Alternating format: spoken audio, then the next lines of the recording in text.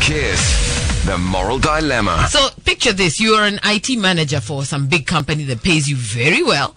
And one day your boss tells you to come and sort out his laptop because it's got a freezing problem. And you know, as you're trying to sort out the problem, you've taken that laptop, you discover a hidden folder filled with videos of your boss fooling around with underaged kids. And as you look closer, you notice that one of the young girls, who is only eight years old, is your colleague's daughter.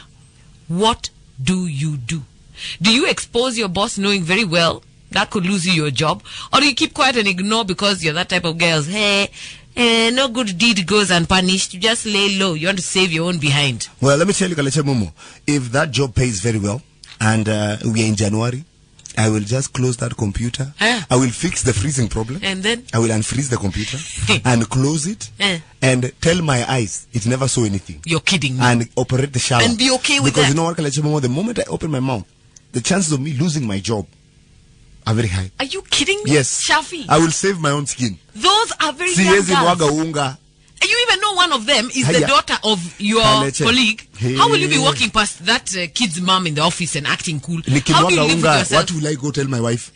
The, What will I tell my family? You know, this eh, tutakula nini? Ati sasa tutakula mawe kwa sababu I went to help another family. You know, you that's ha- how you that's how you get divorced. siku moja utapata mtoto wako alafu you imagine kuna mtu mwingine atakuwa anafanya hivyo ati mna organize company party and all the kids come and your boss is playing with the kids kumbe is not playing for playing he's playing for i wanna play with your things and you're just gonna But keep look at it quiet this way, I already know who, the kind of person he is. My daughter will never come anywhere near that office or that man. it could be someone else Boss, sin moral dilemma. What? Who did I am not doing? would you do what would you do if you discovered your boss was a pedophile and he actually has even been fondling your colleague's daughter you have the evidence what do you do 0711 046 100 is the number hashtag tmk hashtag kiss The Mole Dilemma. on Kenya's new Kiss. New kiss. The number one hit music station. Vipi baby? Talk to me, January My problems. name is Muteu yes honey and I'm kissing all the way from Meru.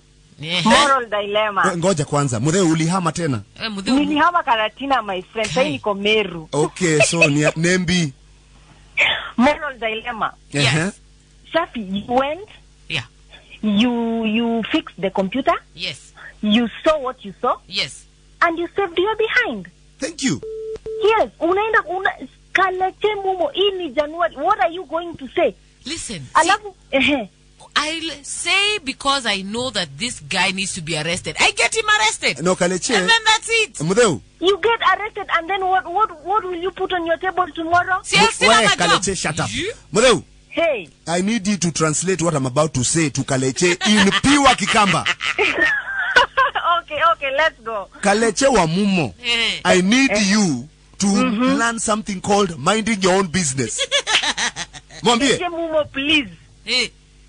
Hiyo kigambo imegonga mawe i don't know we love you, Modeo. Just We love you. Have a good you. one. Listen, Mwah. Mwah, mwah, mwah. I don't understand what your fear is. The guy will be arrested and your job will continue or get another job. Kwani if you're qualified, what's your problem? Hii kazi ya kuogopa ogopa ovyo is what I don't understand. Your boss is a pedophile. You have know- the hard evidence. What would you do? 0711 046 100 is the number. The Moral Dilemma. On Kenya's new New kiss. Kiss. The number one hit music station.